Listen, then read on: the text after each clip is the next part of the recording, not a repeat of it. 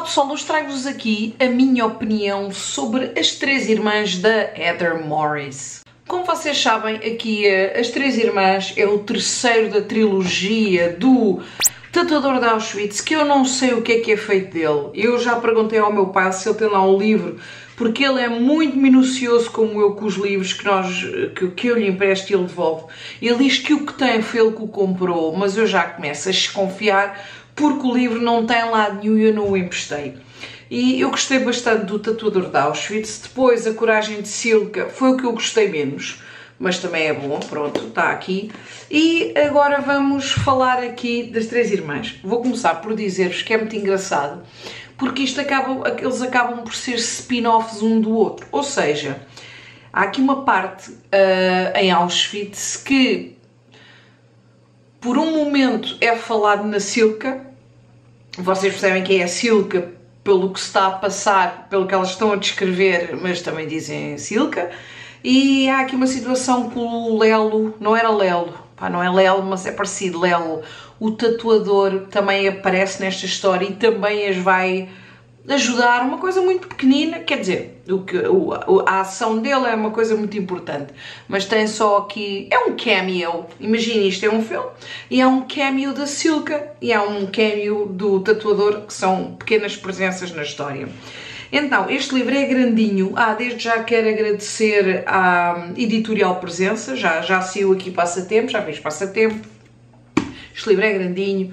Isto é a história principal de a história real, desculpem, de três irmãs, vou dizer os nomes, a Lívia, a Magda e a Sibi, uh, em Auschwitz. Elas viviam na Polónia, para salvo erro, eu, vocês vão pensar, pá, eu sei que vocês sabem que a minha memória está nas ruas da amargura, que eu estou a ser medicada, mas uh, eu vou no quarto livro, quarto, quinto livro este mês, uh, e vamos ao dia 25 do Holocausto, Segunda Guerra, e por acaso Uh, nunca aconteceu noutros anos, é só livros com campos de concentração, só. Uh, não há nenhuma história que, das que eu estou a ler que não seja membro e quase todos, ou praticamente todos em Auschwitz, por isso é normal que eu às vezes já baralhe uh, o país de onde são as pessoas, não é? Já fica assim um bocadinho. Pronto, portanto eu tenho que ir ver de onde é que elas são, porque eu já, já baralho tudo. Ok, elas são de Bratislava, porque eu isso, está uh, aqui, eslovenas, já estive lá em Bratislava, uma cidade pequenininha, mas muito simpática.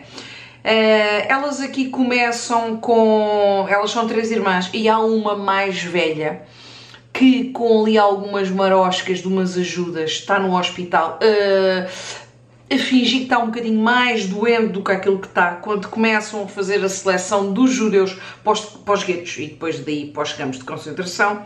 E, mas as duas, as duas irmãs não, não se conseguem safar e elas vão, fazem aquele percurso todo do, dos vagões, são separadas da família, vão para Auschwitz, arranjam vários empregos. Um, este livro, embora eu digo sempre, já eu tenho dito isto nas reviews dos, dos livros anteriores que tenho lido deste, neste mês, mas eu acho que vocês conseguem o que é que eu quero dizer, conseguem entender.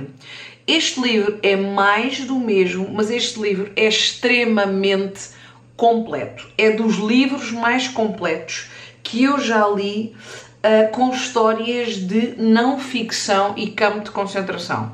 Ele explica desde o início o processo, como é que os alemães os escolhiam, como é que era a distribuição em Auschwitz. Inclusivamente uma delas esteve a trabalhar no Canadá. O que era o Canadá? Era aquela parte, uh, havia em Birkenau 2 e havia também em Auschwitz, onde uh, estão as posses todas dos judeus, os casacos, os fios, os dedos de ouro, que depois havia ali mafia. Então uh, é muito completo porque mostra tudo, as privações que elas passavam, o peso, as idas à casa de banho, os duches, o cortar o cabelo, o cortar os pelos públicos, uh, as mortes eletrificadas nas naquelas vedações, uh, o encontro com a família delas, não estou a spoiler nada, não é? tudo, tudo, tudo é extremamente, extremamente um, Pá, é muito completo. E depois, no fim, quando o campo de, de, de, concentração é desmantelado, há a marcha da morte. O que elas passam. Uh, não vos posso dizer se são duas, se são três, se o que é que acontece às irmãs, chegam vivas até ao fim, não vos vou dizer porque vocês têm que ler, mas guardei aqui uma coisa muito interessante que diz aqui, uh, há aqui um pusfácio de várias personagens ligadas às irmãs no final e aqui diz, uh, há uma delas, pronto, isto é mesmo uma delas uma das irmãs, ela diz: Simpatizei com a Heather logo que ela entrou em minha casa. Uh, o primeiro romance da Heather, O Tatuador de Auschwitz, conta a história de Lal e. Não é? Eu há bocado disse Lelo. Bem, esqueça. Lal e de Gita, que eu conheci ainda muitos novos na Eslováquia. No antes, a Heather guarda no seu coração o Lal e a Gita e tem amor e empatia pelas pessoas em geral. E depois temos aqui, desculpem, a Heather Theodore começou a escrever As Três Irmãs há dois anos e desde então fomos conhecendo cada vez melhor. Considero uma irmã, tal, tal. Depois há aqui um familiar de uma das irmãs que, quando seu tatuador de Auschwitz, uh, é filho de uma das irmãs, ele estava a ler a história e disse: Epá, uh, isto tem alguma coisa que ver com a minha mãe e foi ele que procurou a Heather, diz aqui, fui com alegria que reencontramos os nossos filhos e a minha mãe. Em Israel, nessa altura, Heather Morris preparava uma viagem promocional à África do Sul para divulgar o seu inesquecível tatuador de Auschwitz. Mostrei o livro à minha mãe e ela ficou encantada ao dar-se conta que conhecia Lal. Antes de ler uma única linha, já adivinhava que a sua amada esposa era Gita, de quem ela fora colega na escola. Portanto, aqui as histórias estão todas interligadas, são tudo histórias reais. Havia muito, muito, muito para dizer-vos sobre este livro. Às vezes, uh, por acaso, eu acho que nunca me perguntaram. Ah, uh, em relação a estes, ah, Dora, posso ler este sem ter lido o segundo, sem ter lido o primeiro? Podem ler qualquer livro de qualquer livro sem ser por ordem. As Três Irmãs foi o livro da, da trilogia que eu mais gostei, de longe. Como vos digo, mais uma vez, este livro é extremamente completo. Uh, vou dar 5 estrelas. Todos os livros, este que estou a ler, não sei. Mas todos os livros que eu tenho lido este mês para o projeto do Wall 77 têm sido 5 estrelas, pá, muito fixe por acaso.